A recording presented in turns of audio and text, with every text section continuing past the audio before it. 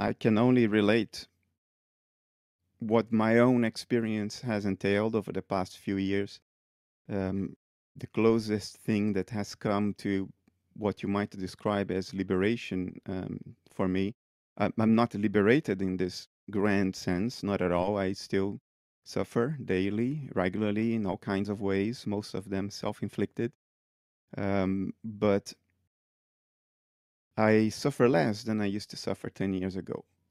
And part of it was, and I think we talked about it last time, Lucas, part of it, of it is the realization in the second half of life that um, my life is not about me, has never been about me, will never be about me, and that the attempt to carry responsibility for all the unfoldings of my life puts me in the position of Atlas, of having to carry the weight of the world in my shoulders, while I don't have anywhere near the power of Atlas. And, and that is incredibly not only frustrating, that is oppressive and claustrophobic.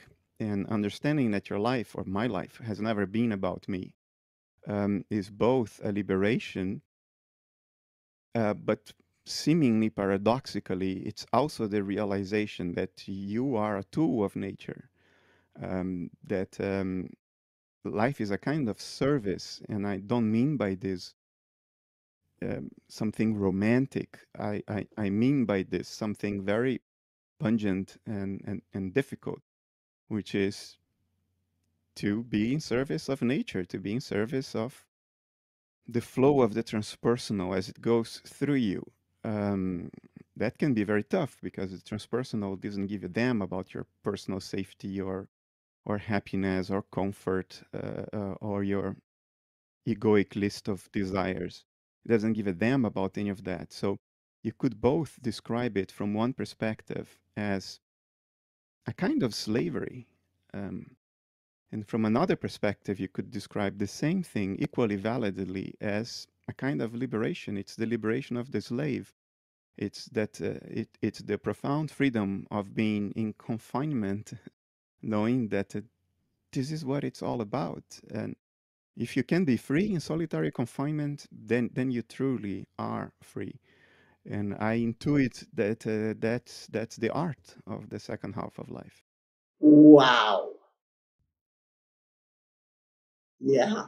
It's not a practice; it's life. Well, it's an insight. if we suffer enough, we all get to some insights, right? Yeah, that's a no- that's a little bit of a non-trivial insight. I'm going to say, from my perspective. So my curiosity is, to what extent was this fueled by psychedelics? To what extent was it fueled by rash, your uh, thinking about things, life events? I'm really interested because once again, you really nailed something here. I mean, I if you ask me to say it, it's exactly what you just said. You are everything. it, you're the master and the slave, uh, and you're only the master because you know how to be the slave. Uh, it's exactly what you're saying. You said it perfectly. So I'm interested how you got the insight. Not psychedelics. Um, I I did psychedelics during a more or less limited period of my life, a couple of years, um, and it's been over ten years ago. Um, so no, this didn't come from psychedelics. Psychedelic experience is very profound, but it's also um, a manifestation of what I like to call the prime directive of mind, which is to deceive itself, and uh, and it's um, it's it requires a certain degree of paying attention for one to notice how much of the psychedelic experience is self-deception, um, kind of a carrier of a deeper meaning. But to see that deeper meaning, you have to pay a lot of attention. But even those deeper meanings were not the origin of what I just told you. Um, and it wasn't bookish philosophizing either. You certainly don't get anywhere near this with academic philosophy. You get, if, if anything, you get very far away from what I just described, because academic philosophy is conceptual. It puts a conceptual barrier between one and one's lived experience, um, especially analytic philosophy. Continental philosophy is closer to lived experience, as Nietzsche showed us all. Um, but what I just told you, it's it's the product of paying attention to life as you suffer. I mean, this is the product of suffering, right? Uh, um, but uh, we, we live in a culture in which we try to insulate ourselves as much as possible from suffering. We turn suffering into something to be overcome through recipes, through through procedures, and often it doesn't help. And uh, for me, it definitely didn't help. So I think if there is any difference between me and and Joe average uh, and Jane average, maybe I have a disposition to pay attention, even to the unfolding of suffering. And if you pay attention to it, certain things in life are, I think, are in, are inescapable, unless you have the means to keep on distracting yourself all the way to your deathbed which unfortunately a lot of us are very good at, very good at distracting ourselves all the way to our deathbed and then realizing what's going on 30 seconds before you're out of the game.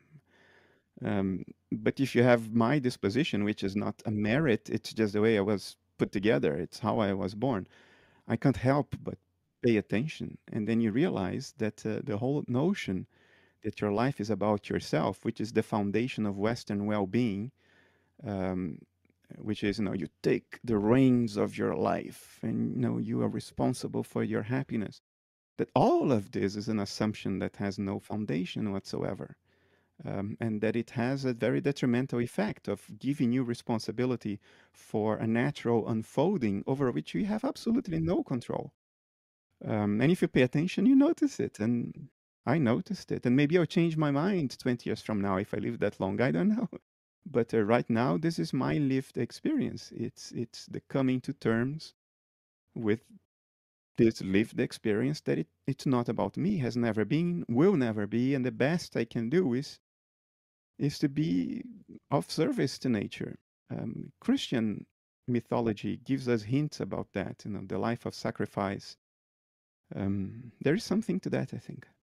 So if, if you're looking for how did I get here, can I share and help other people get here? No, I can't. I suffered my way into this.